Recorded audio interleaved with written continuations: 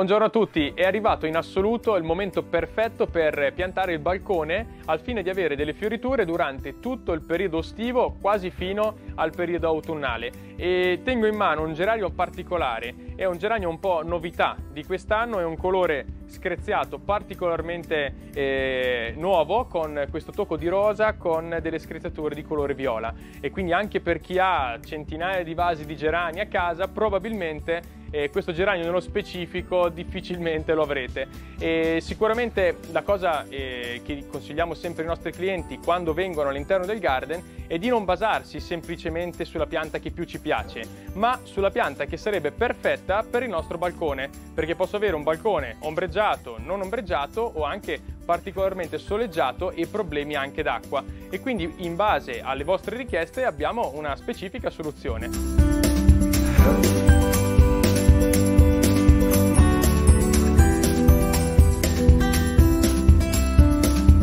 La prima cosa in assoluto è studiare l'esposizione ombreggiata, soleggiata, esposto a nord oppure a sud, in modo tale da cercare di capire la pianta giusta in proporzione allo spazio che io gli posso dare.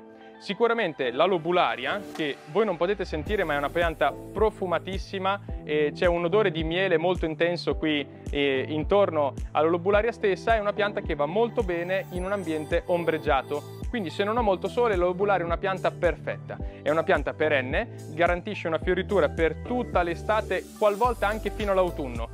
soffre difficilmente il freddo, ma il suo tallone d'Achille sono le altissime temperature e il sole. Quindi ponendola in un ambiente ombreggiato sicuramente avremo un grande risultato. Eh, ma poi di piante che possiamo tenere in ombra ce ne sono tante, Nuova Guinea, Bacopa con i suoi fiori che vanno dal bianco, azzurro e fino al rosa e poi sicuramente anche la lobelia con una fioritura che attrae particolarmente le api e gli insetti pronughi.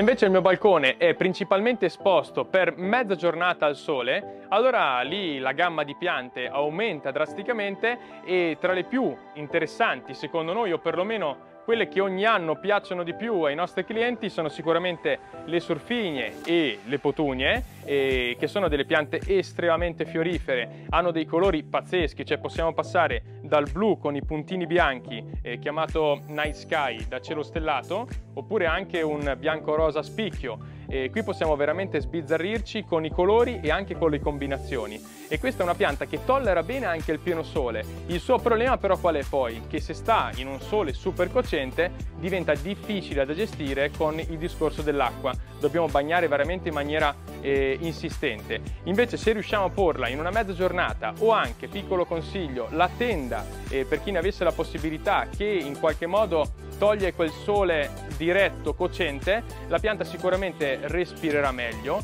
starà meglio, richiederà un pochettino meno acqua e quindi riusciremo a gestirla molto molto meglio. E questa la surfigna è una pianta che veramente fino a settembre-ottobre se trova la posizione giusta e se la annaffiamo adeguatamente la, la troviamo fiorita fino a tardi.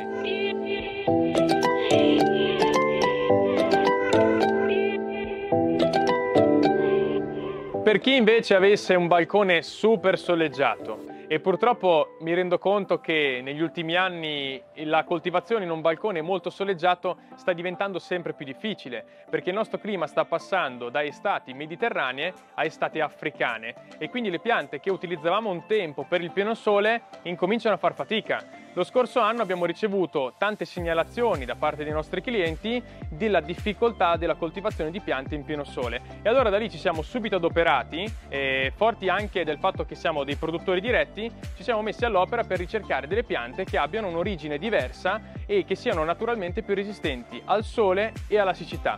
E quest'anno siamo riusciti a reperire e lo scorso anno a testare una serie di varietà che sono nuove in assoluto sul mercato. E vi faccio un esempio al volo di una balconiera che abbiamo preparato per darvi uno spunto.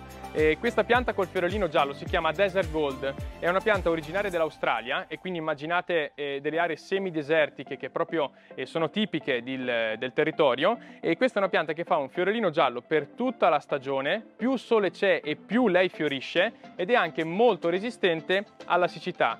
E la Diamond Frost invece, questa nebbiolina di colore bianco, è un'euforbia, quindi vagamente è una pianta che appartiene alla famiglia delle piante grasse, delle euforbiacee. E per farvi capire, l'euforbia è il classico cactus che possiamo vedere anche nei film o che in tanti di voi sicuramente avranno a casa. E quindi entrambe piante molto resistenti alla siccità, però senza andare a compromettere un lato estetico. Cioè questa combinazione tra giallo e questa nebbiolina bianca sicuramente è una combinazione che all'occhio è molto piacevole.